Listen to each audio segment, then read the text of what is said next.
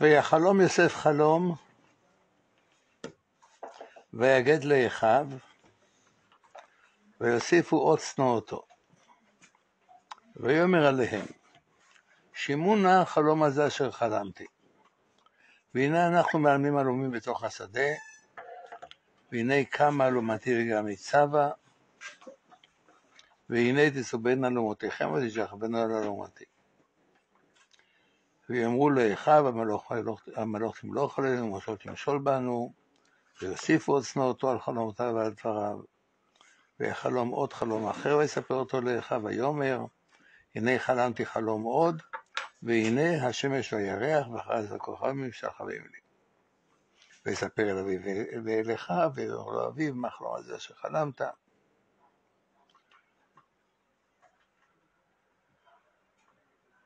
יוסף חלם שהוא יהיה המלך. למה זה הפריע לאחים שלו? הם לא רצו מלך? הם הרי המליכו את יהודה עליהם. מה היה אכפת להם שיוסף ימלוך ולא יהודה? מה נאמר? שיוסף היה הקטן שבשבטים. גם יהודה היה הבן הרביעי.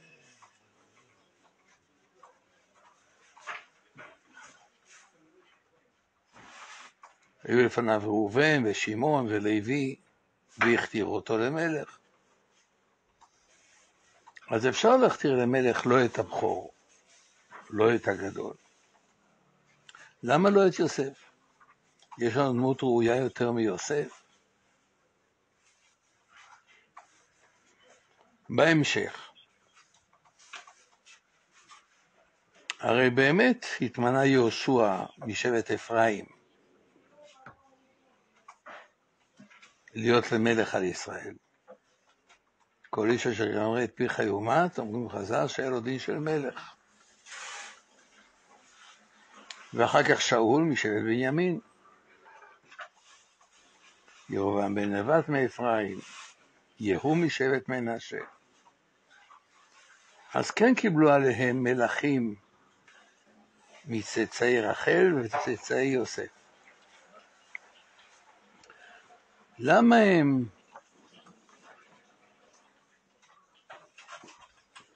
פסלו את יוסף מנמלוך?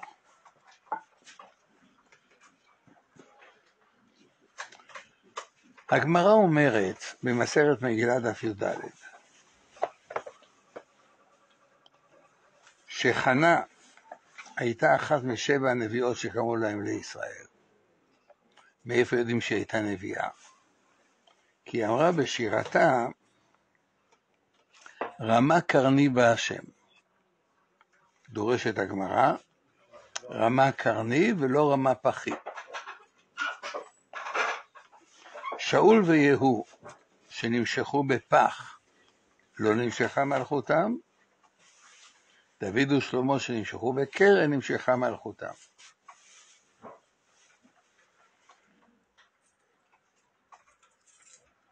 רואים שתולים את ההימשכות של מלכות דוד ושלמה, את העיקרון שדוד מלך ישראל חי וקיים. מלכותו תימשך עד המלך המשיח. לא יאסור שבט מיהודה ומחוקק מבין רגליו עד כי יבוא שילה ולא יקרא תמים. את כל זה תולים בזה שדוד המלך נמשך בקרן ולא בפח.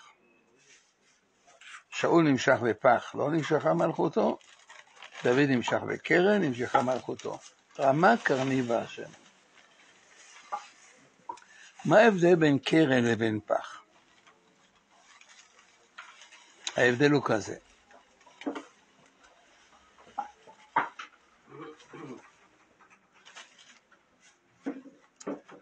פח מיוצר בהלחמה. קרן נבנית לאיטה. פח מיוצר בהלחמה, תוך שעה יש לך פח.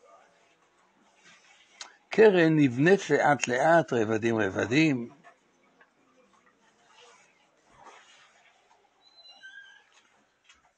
ככה. מה? פח בהלחמה? כן. פח שלם כמדומני מחרס, אז אה. שוב, עשו אותו מחרס.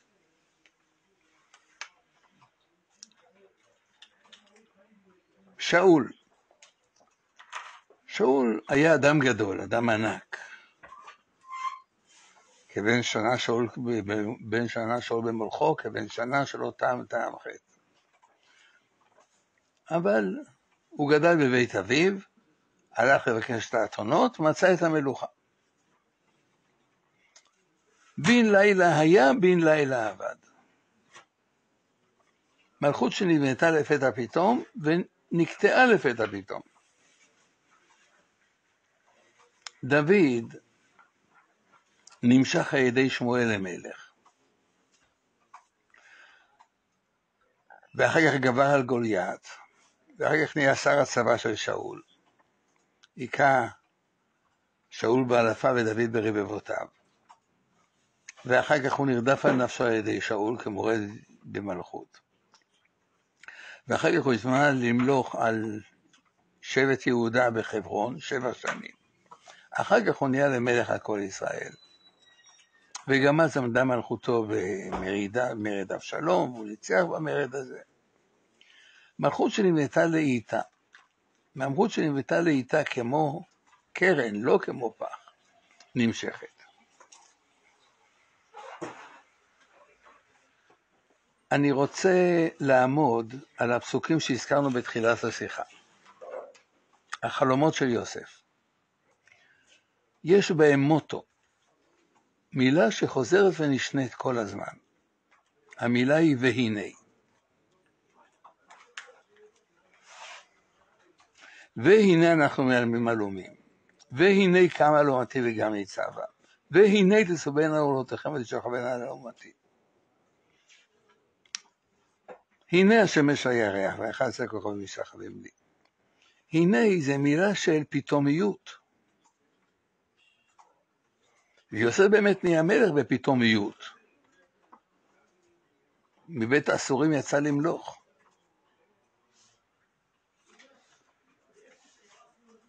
אומר המדרש, על הפסוק מבית האסורים יצא למלוך. מרדכי, כתוב בו ויבא שק ואפר, ונתרומם, ומרדכי יצא מפני המלך ובאוס מלכות חלת וכו'. היה מהפך, מרדכי היה גם מבני בניה של רחל. היה מהפך פתאומי. לפני שעה שק ואפר, פתאום יוצא בלבוש מלכות חלת וכו'. וגם יוסף, ויריצו מן הבור, ויגלח, ויחליף סמלותיו, ויבוא לפני פרעה. גם עם ישראל במצרים, ועלה מן הארץ, כלומר המצב שלו יהיה בארץ, ועלה מן הארץ, פתאום הוא יתעלה. זה יוסף, לעומתו יהודה. ביהודה כתוב גור אריה יהודה. מה זה גור אריה? גור זה אריה קטן, ואחר כך הוא נהיה לאריה גדול. הוא גדל לאיתו.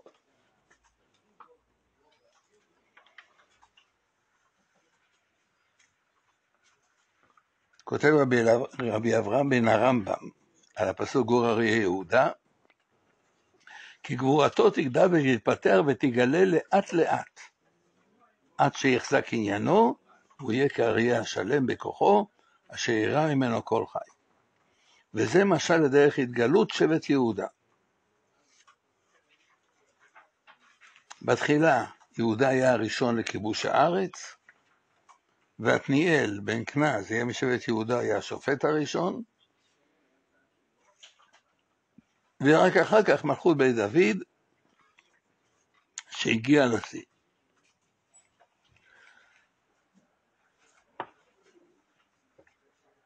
עם ישראל בחר במלכות יהודה, כי היא מלכות שנבנית לאיתה.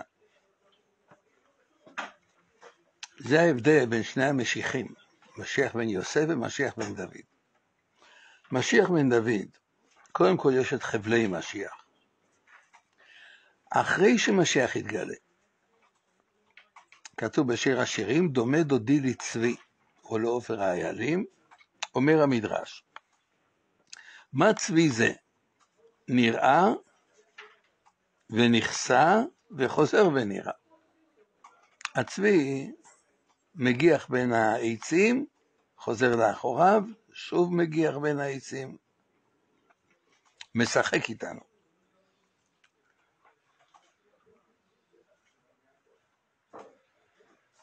ככה גואל משה רבינו, התגלה לבני ישראל, אמר להם שהוא בא לגאול אותם, ויאמן העם, ואז משה רבינו נעלם, הופיע רק כעבור שלושה חודשים להתחיל את המכות במצרים. וכן הגואל העתיד, אומר, אומר המדרש, יהיה נגלה וחוזר, וחוזר ונכסה. יבוא משיח ופתאום הוא ייעלם. יחזור אלינו כעבור כמה חודשים. כותב רבינו בחיי, בספר שמות, שהובטחנו שהגאולה העתידה תהיה כאין גאולת מצרים. כי מת צאתך מארץ מצרים, מראינו נפלאות. אז כמו שגאולת מצרים הייתה לאיטה, ככה הגאולה העתידה תתפתח לאיטה. אבל משיח בן יוסף, משיח בן יוסף יתגלה, יילחם ויהרג. כך אומרת הגמרא במסכת סוכה דף נ"ב. למה נגזר להיות כך? זה הבדל לכאורה. אני לא אומר שזה ההבדל המהותי בין יוסף ליהודה. לפני כ-60 שנה שמעתי מרבי יצחק אזרחי, אז הוא היה חתן טרי אצל רב חיים שולביץ'. הוא אמר שבחור אחד, סיפר לי, בחור אחד נבחן אצל רב חיים שמואלביץ'. רצה רב שמואלביץ' לעמוד על, ה... על ההבנה שלו, על הסברה שלו. שאל אותו מה החילוק בין שני עניינים. אז הוא אמר חילוק. אומר לו שמואלביץ' כך, שאלו כפרי אחד, מה החילוק בין רכבת לעגלה? יותר נכון, בין קטר לסוס. חשב, חשב, חשב ומצא. הרכבת צופרת והסוס לא צופר. אמר רב שוויץ', נכון, זה חילוק, אבל זה לא החילוק. טוב, חילוק בין יהודה ליוסף, הפתאומיות. הפתאומיות של יוסף מול הבנייה האיטית של יהודה. רבינו בחיי, במחזה הסנה, מאיר הערה. מחזה הסנה מתפתח לאיתו. קודם כל הולך משה רבינו אחרי הצאן, רואה והסנה בוער באש, והסנה איננו עוקל, ואומר משה אסור העונה ויראה את המראה הגדול הזה, למה לא יבער הסנה? קודם כל מסיבים את תשומת ליבו, ואז הוא מתקרב, והמלאך קורא אליו. אומר לו, שאל עליך מעל רגליך, ואז הקדוש ברוך הוא מדבר אליו. רואים פה הדרגה. קודם להסב את תשומת ליבו, אחר כך מלאך, ורק אחרי זה הדיבור של הקדוש ברוך הוא. למה? אומר רבנו בחיי, משום שמחזה הסנה היה אמור להיות המבשר של גאולת מצרים. זה בא לומר לו שגם גאולת מצרים לא תקרה לפתע פתאום. חוץ מזה שהגואל נכסה, נראה ונכסה וחוזר ונראה. קודם כל, משה רבנו בא לפני פרעה, ויאמן העם, ואז התחילו המכות, ופרעה מסרב לשלח, והמכות מתעצמות ומתעצמות ומתעצמות, עד שבסוף יש את גאולת מצרים, עם ישראל יוצא ממצרים, יצווה לחזור לאחוריו, המצרים רודפים אחריהם, קריעת ים סוף, רק אז אשר ראיתם את מצרים היום, לא תזמון לראותם עוד עד עולם. כלומר, יש דרגות, יש שלבים בגאולת מצרים. כל דבר שנבנה צריך להיבנות בהדרגה. כותב רבינו בחיי, שכך זה בהתעלות הכללית של עם ישראל, כך זה גם בהתעלות הפרטית של כל אדם. הוא מביא פסוק בספר הושע, ונדעה נרדפה לדעת את השם. כשחר נכון מוצאו. נדעה נרדפה לדעת את השם. אם רוצים לרדוף כדי לדעת, להתחבר לקדוש ברוך הוא, צריך לעשות את זה בשכל, נדעה נרדפה. איך עושים את זה? איך עושים את זה באמת? כשחר נכון מוצאו. כמו שהשחר זורח לאט לאט. בהתחילה יש עלות השחר, יש הנצח חמה, לאט לאט השמש עולה ועולה ועולה ברקיע, עד שהיא מגיעה למרום הרקיע. כך למעשה האדם צריך לרדוף את השם. לא להגיע בבת אחת לעיצומו של הגילוי, בגלל שאז אומר רבינו בחיי מי שנמצא בחושך מוחלט ונחשף לאור מסנוור, יתעוור. לאור צריך להיחשף לאט לאט. כך האדם ברדיפתו הפרטית אחרי הקדוש ברוך הוא, כך עם ישראל בכללותו. אומר המדרש על הפסוק מי זאת הנשקפה כמו שחר, כשחר נכון מוצאו, רבי חייא ורבי שמעון בר חלפתא היו מהלכים בבקעת ארבל, בקריצתא, כלומר לפני עלות השחר. ראו איילת השחר שבקע אורה. ראו אור ראשון, מתגבר, מתגבר, מתגבר. אמר לו רבי חייא הגדול לרבי שמעון בר חלפתא, כך תהיה גאולתם של ישראל מצפצפת. הגאולה לא תבוא בבת אחת בעיצומה, תבוא לאיתה. דכתיב כי ישב בחושך השם אור לי. בתחילה היא באה קימה קימה, ואחר כך היא מנצנצת ובאה, ואחר כך פרה ורבה, ואחר כך מרתבת והולכת. שלבים שלבים של הגאולה.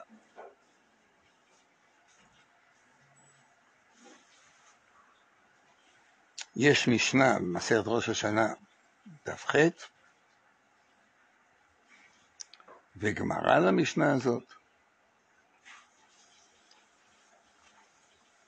ידוע שעבד נרצע, עבדים נרצעים, עובדים עד היובל. אומרת, אומרת שם הגמרא, זה לא מדויק, הם עובדים עד ליובל, אבל עדיין לא משתחררים ביובל.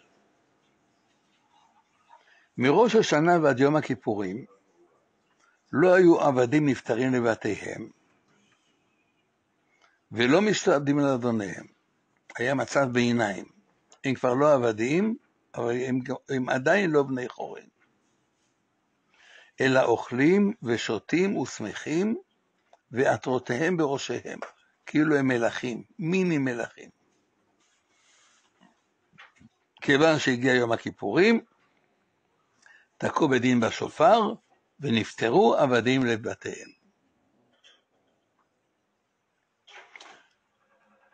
יש לי שאלה, למי זה טוב?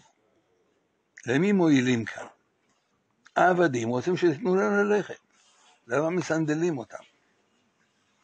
האדונים צריכים לתת אוכל חינם לעבדים שלא עובדים. אוכלים, שותים ושמחים ועטרותיהם בראשיהם. אני לא יודע אם נשארה שמשה אחת שלמה בבתים של האדון. מי צריך את זה? תנו להם לצאת.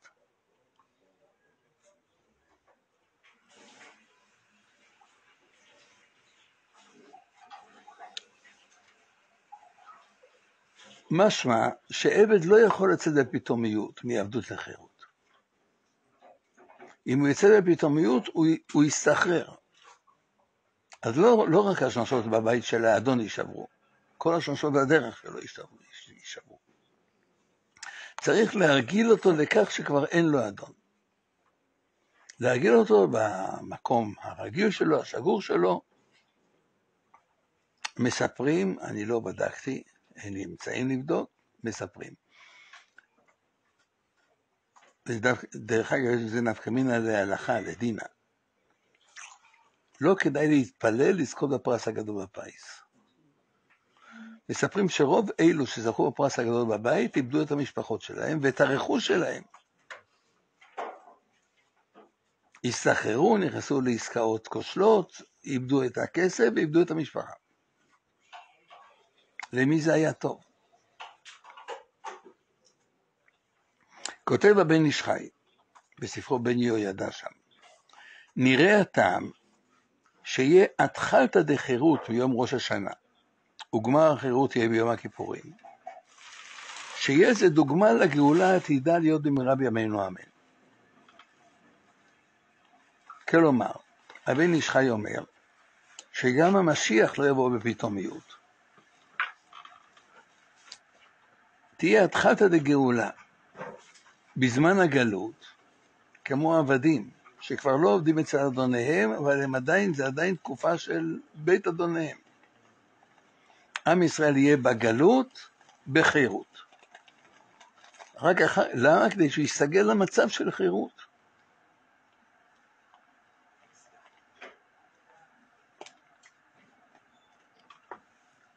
אומר הנועם אלימלך על הברייתא במסכת ברכות, דף ל', תנו רבנן, אומרת הברייתא, היה עומד בחוץ לארץ, יכוון את ליבו כנגד ארץ ישראל, שנאמר, והתפללו אליך דרך ארצם. היה עומד בחוץ לארץ, התפלל דרך ארץ ישראל. היה עומד בארץ ישראל, יכוון את ליבו כנגד ירושלים, שנאמר, והתפללו אל השם דרך העיר אשר בחרת. היה עומד בירושלים, יכוון את ליבו כנגד בית המקדש, שנאמר, והתפללו אל הבית הזה. היה עומד בית המקדש, יכוון את ליבו כנגד בית קודשי הקודשים, שנאמר, והתפללו אל המקום הזה. היה עומד בית קודשי הקודשים, יכוון את ליבו כנגד בית הכפורת, כלומר כנגד ארון הברית. נמצאו כל ישראל מכוונים את ליבם למקום אחד. שואל לנו אלימלך, למה כל האריכות הזאת?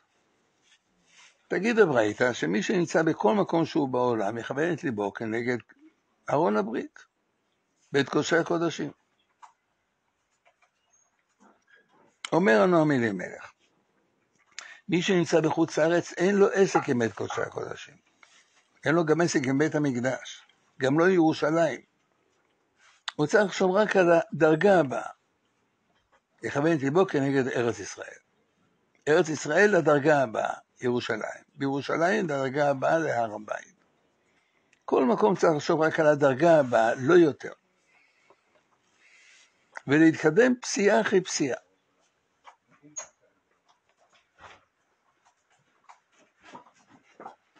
הרב רשמקי מניקלשבורג אמר בדרשת שבת תשובה שלו, שובה ישראל עד השם אלוקיך כי כשלת בעווניך. שובה ישראל עד. הוא אמר כך, אדם שיוצא מבני ברק ללכת רגלי לירושלים, סביר להניח ש... שהוא יוותר אחרי קילומטר, שני קילומטר, שלושה קילומטרים, גדול עליו, שיחשוב שהוא רוצה ללכת רק עד התחנה הראשונה. בתחנה הראשונה עד התחנה השנייה, תחנה השנייה עד לכפר חב"ד. כל פעם יחשוב, שובה ישראל עד. תציב לך תחנות ביניים, אל תסתכל על המטרה הסופית. למעשה זה פסוק, ספר משלי, את פני מבין ועיני כסיל בקצה הארץ. המבין מסתכל על מה שלפניו, הכסיל מסתכל על המטרה הסופית, והוא מתייאש מראש.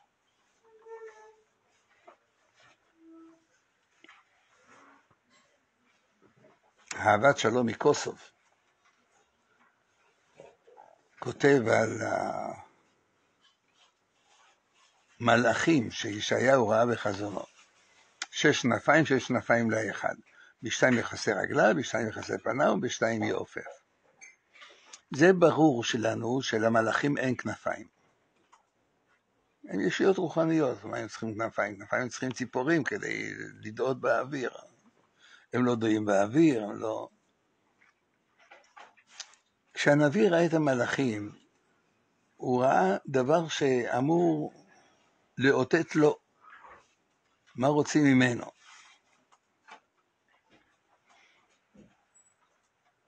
כל אדם צריכים להיות לו כביכול שש כנפיים.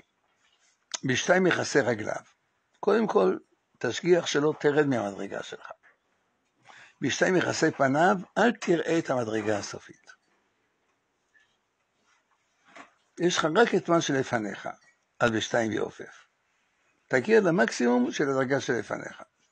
תגיע אל המקסימום, האופק יתרחב, יהיה לך מקסימום חדש.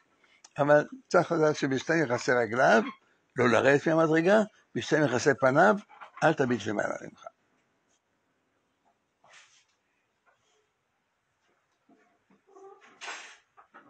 הרב שמואל קמיניקוס הוא אמר, אנחנו רואים לשנה הבאה בירושלים. למה לא אומרים שנה הבאה בבית המקדש? תודה. כי עדיין אין לנו עסק עם בית המקדש. אנחנו צריכים לדעת שבמה שאין לנו עסק, לא להסתכל בכלל. ואם כן, אם קופצים גבוה, יש מדרש, שמות רבה, פרשה מ"ב, עוד ח'. עם ישראל עשה את ה... עם ישראל, עשו את העגל. הערב רב עשה את העגל. הקדוש ברוך רוצה להשמיד את כל העם. למה? מה זה למה? עשו עבודה זרה. הטענה העיקרית, אחת הטענות העיקריות, שיש לקדוש ברוך הוא על עם ישראל, לך רד מהר מזה, חטא עמך אשר העלית מארץ מצרים, סרו מהר מן הדרך אשר ציוויתים, עשו להם עגל מסכה. כלומר, הייתה טענה למה הם סרו מהר מדי. למה זה קרה כל כך מהר? כמה מהר זה קרה? 40 יום, 40 יום זה מהר. אמר רבי שמעון בן קלפתא, אדם שיוצא לדרך, מהלך ב' או ג' מילין, וטועה בשלישי. הולך שניים שלושה קילומטר, בקילומטר השלישי הוא עלול לטעות. בקילומטר הראשון לטעות? עומדים עוד בהר סיני וכבר שם לטעות? מהר. צרו מהר מן הדרך. כך אמר להם הקדוש ברוך הוא לישראל. לא היה לכם לסרוח לא בשני ולא בשלישי, אלא מן הראשון? רבי שמעון בר חלפתא. רבי מאיר אומר, אף לא יום אחד היה. לא היה להם יום אחד של חסד, אלא היו עומדים בסיני, ואומרים נעשה ונשמע, וליבם היה מכוון לעבודת כוכבים. שנאמר, ויפתו בפיהם ובשנם יכזבו לו, וליבם לא נכון עמו ולא נהנו בבריתו. יש שאלה, למה רבי מאיר עושה לנו את זה? למה הוא לוקח את השעה הכי יפה שלנו, שאנחנו אמרנו נעשה ונשמע, ואומר שלמעשה לא התכוונו ברצינות? יותר מזה, הגמרא אומרת הרי במסכת שבת דף פ"ח, בשעה שאמרו ישראל נעשה ונשמע, יצאה בת קול ואמרה, מי גילה להם לישראל רע זה, שמלאכי השרת משתמשים בו? שנאמר גיבורי כוח, עושי דברו לשמוע בכל דברו. קודם נעשה ואחר כך נשמע. אז אם בת קול יצאה ונתנה להם, להם מחיאות כפיים, בת קול יצאה והחמיאה להם, בת קול יצאה והעידה בהם שהם השתמשו ברז שמלאכי השרת משתמשים בו. למה לומר שאז היה בליבם לעשות, לעבוד עבודה זרה? הם לא, לא, לא התכוונו ברצינות?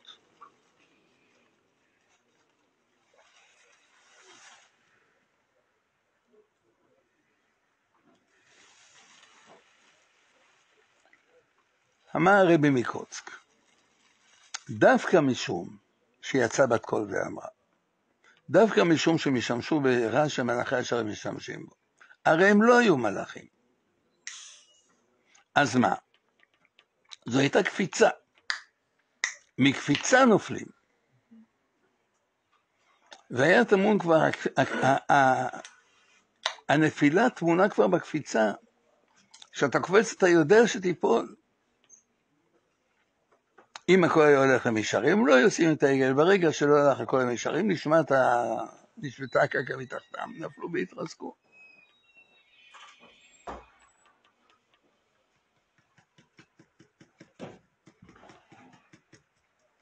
במלחמת עמלק עלה משה ראש הגבעה, הרים את ידיו, והיה כאשר הרים משה ידו בגבר ישראל, כאשר יניח ידו בגבר עמלק.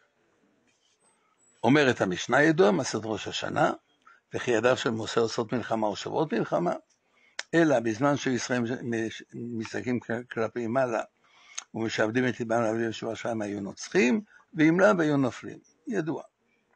הידיו של משה רבנו למעשה הורו את כל עם ישראל לשבץ ליבם לאביהם שבשמיים. נפלא. יש לי שאלה. אני מבין שכל זמן שישראל מזכים כלבי מעלה, משבלים לאביהם שבשמיים, היו מנצחים. ואז הוריד משה רבנו את ידיו, למה הוריד את ידיו? לקרב עין, בגלל שהרמב"ן אומר שעל פי קבלה אסור לאדם להרים את ידיו באופן רצוף למעלה משלוש שעות. עברו שלוש שעות, הורידו שרבן את הידיים, ואחר כך אפשר להרים אותם שוב.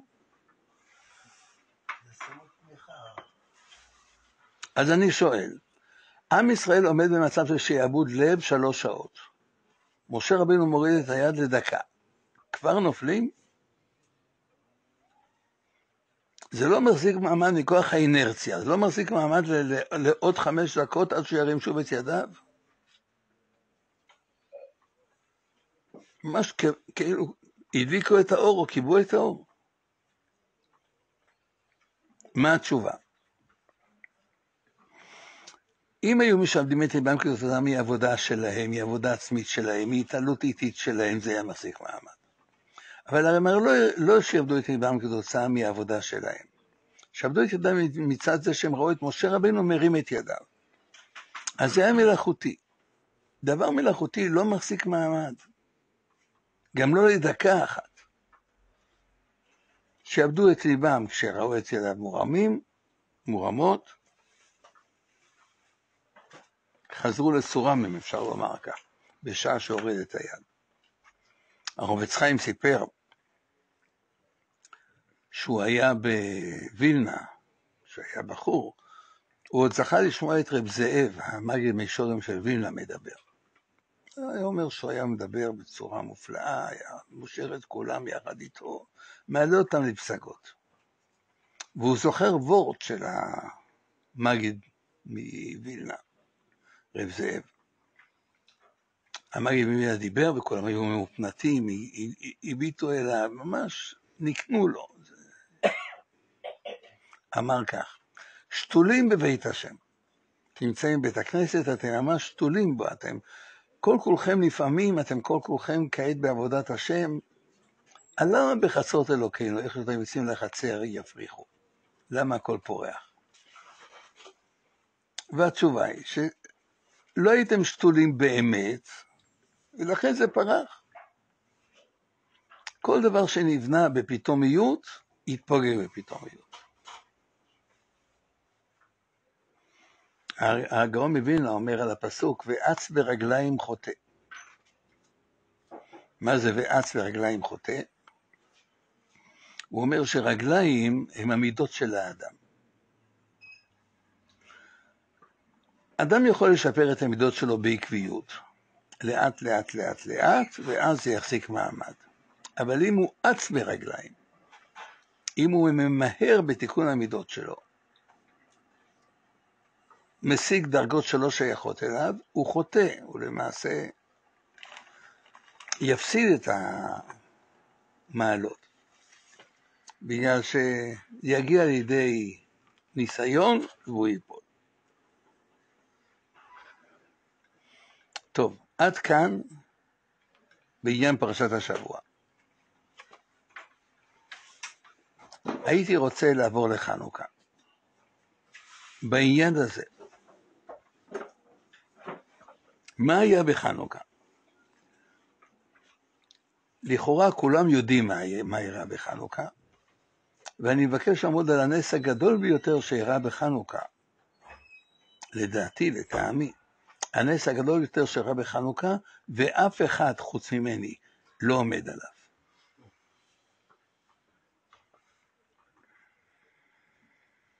בספרי חשמונאים כתוב, סביר להניח שכך באמת היה המצב. היוונים שלטו על עם ישראל 180 שנה. לא היו 180 שנה של גזירות, היה בהתחלה שלטון אוהד, העמיק, העמיק, העמיק, העמיק, עד, ש... עד שהם מינו כהן גדול יווני. הכהן הגדול שלח משלחת לא... לאולימפיאדה שהייתה בצור, שלח בידיהם כסף לקנות אה, זבחים לעבודה זרה. שלטון חילוני, חילוני ליברלי, השם ירחם. טוב, ואחר כך התחילו הגזרות באמת, וכבר לא נתנו לקיים את התורה, ומי ש... ששמר חודש, שבת, מילה, היו הורגים אותו. נורא. רוב רובו של העם, רוב רובו של העם, היה מתייוון או מתוך הכרה, או מתוך אי ידיעה. גדל דור שלם שלא ראה ספר תורה מול העיניים, כי לא היו ספרי תורה, כי מי שהחזיק ספר תורה היו שורפים אותו. דור שלם שלא למד בחיידר. ראינו מה, מה קרה ברוסיה אחרי 70 שנה של ניתוק. מה היה בארץ ישראל אחרי 180 שנה של ניתוק?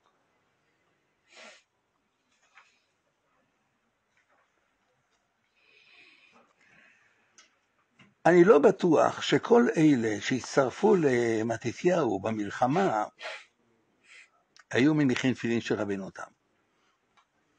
לא יודע אם הניחו תפילין בכלל, אם היו להם תפילין. חרבות לא היו להם, תפילין כנראה גם לא היו להם. אבל נניח, כמה מנה הצבא של יהודה?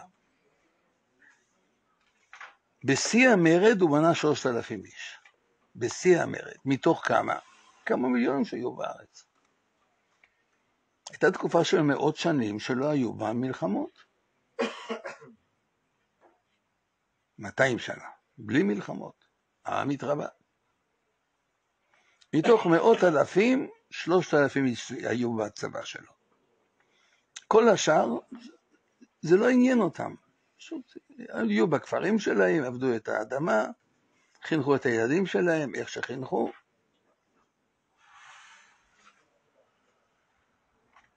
אני רוצה להזכיר, גם כעבור 200 שנה, בזמן רבי יוחנן בן זכאי. היה סקטור של עמי הארץ שלא לא ידע כלום. רבי אליעזר הגדול ברח מבית אביו, עלה לירושלים, בא לרבי יוחנן בן זכאי, בכה, הוא רוצה ללמוד תורה. שאל אותו, מה אתה יודע? אמר לו, כלום. ואביו היה מנאמני רבי יוחנן בן זכאי. אביו עלה לרבי יוחנן בן זכאי כדי להדיר אותו אחר כך מה... ירושה. קריאת שמע אתה יודע? אמר לו לא. ברכת המזון אתה יודע? אמר לו לא. מדאורייתא. תפילה אתה יודע? אמר לו לא. שב אני אלמד אותך. לימד אותו את השלושה, אמר לו, אתה יכול לחזור לכפר שלך, אתה כבר יודע את הבסיס. זה עוד לפני שהוא הותר לכתוב את הסידור. מישהו לא ידע הכל בעל פה, לא ידע.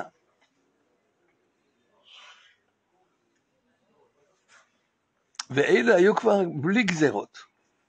הסקטור של עמי הארץ, הנאמנים לדת. מה היה בזמן הגזרות? מה עשה יהודה המכבי? הוא שחרר את הארץ מעול היוונים, ידוע, והוא החזיר את שלטון התורה. פסיק ממה, ממה שמעוז רוצה לעשות. החזיר את הסנהדרין, מי שיחלל שבת חייב סקילה, דיני טומאה וטהרה, תרומות ומעשרות, אומה חקלאית. צריכים, כדי לתת 20% מהיבול שלהם לקדוש ברוך הוא, חוץ מהמיסים. ולא שמענו ציוץ. כל העם מקבל את זה. אני רוצה לחשוב היום, אם הייתה קמה מחתרת חרדית ומצליחה, משאלת על רשות השידור, מכריזה שהשלטון בידינו, הכנסת בידינו, פיזרנו את הכנסת, מחזירים. משכן הכנסת הופך למשכן הסנהדרין. מהיום כולנו נותנים תחת השלטון של הסנהדרין. כמה שעות זה היה מחזיק מעמד? והם עשו את זה חלק. איך זה עבר חלק כל כך? יש נס גדול יותר מזה? ורואים שלא מציינים בכלל את הנס הזה. עם ישראל שב למורשתו, עם ישראל שב לאמונתו. תקישו את זה להיום. איך זה קרה? זה קרה בגלל שהמהפך לא אירע ביום אחד. כולנו יודעים שמעטים ניצחו את הרבים, טהורים ניצחו את הטמאים. מי שמסתכל בספר חשמונאים רואה שהמלחמה ארכה למעשה שלוש שנים. בסדרה של מערכות. בתחילה מתתיהו תקע את הפגיון בלב של המתייוון, הרגו את הפלוגה היוונית, זה רק התחיל. אחר כך הלכו ו... סירון היה שר חיל המצב בשומרון, בא לקראתם, ניצחו אותו, פיזרו אותו. שלחו לקראתם את חיל המצב בארם, כבר חיל גדול, ניצחו אותם. שלחו לקראתם את שלוש המצביעים מאנטון, מעיר הבירה. אנטו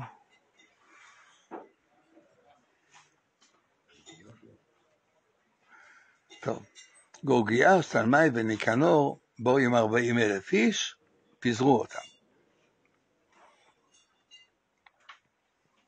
הלך ליזיאש, שר הביטחון, כינס שמונים אלף איש, יצא, יצא למערכה נגדם, פיזרו אותו. הוא לא, לא שקט על שמריו, כינס מאה אלף חיילים עם עשרים אלף פרשים עם שלושים ושמונה פילים. יצא למערכה, הפסיד בה. בגלל זה היה לאט לאט, בגלל זה נבנה לאט לאט, בגלל זה נבנה לאיתו, לעם הייתה שהות לעשות חשבון נפש. לדעת שהולכים פה, הם הולכים לנצח והם דורשים שאני אחיה חיי תורה. אז הרעיון חלחל, חלחל, חלחל, עד שהוא הבשיל. אם זה לא מבשיל לאיתו, אין לזה קיום.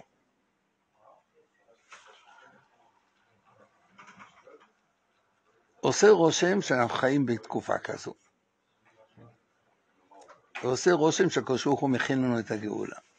ועושה רושם שדברים יקרו לאיתם, יחלחל יותר ויותר, תחלחל ההכרה שאנחנו שווים למורשתנו, שווים לאמונתנו, ואז, כנראה רק אז, יבוא המשיח. תודה.